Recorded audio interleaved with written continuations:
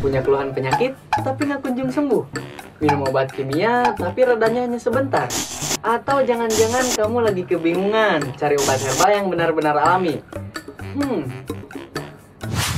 sekarang kamu nggak usah bingung lagi. Cari obat herbal yang benar-benar alami yang tentunya telah mengantongi legalitas resmi dari BPOM dan Halal MUI. Kamu cukup download aplikasi Toko Acep Herbal di Play Store.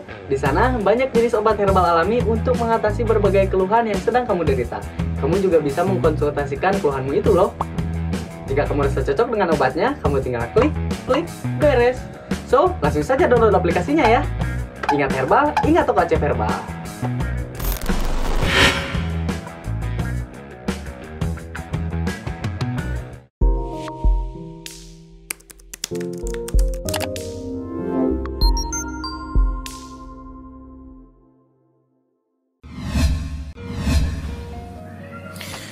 Anak saya umur 11 tahun laki-laki mengalami pembesaran tiroid. Terapinya gimana? Tes USG membesar tapi tidak membahayakan. Tes hormon alhamdulillah normal. Mohon masukannya. Kalau tiroid, pengalaman saya ada satu produknya Allah yang amat sangat baik untuk memperbaiki tiroid. Produk itu namanya apa? Bukan tiroid sih, tapi secara umum hormon. Ini apa? Alpukat. Alpukat ini anda kasih ya. Saran saya campurkan dengan ini. Apa ini? Kunyit.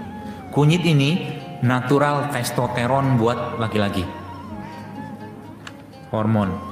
Jadi ini sama ini diberikan pada beliau bahan anaknya ditambahkan dengan VCO VCO itu merupakan salah satu minyak yang sangat tinggi iodin bahan baku pembuat tiroidnya ya.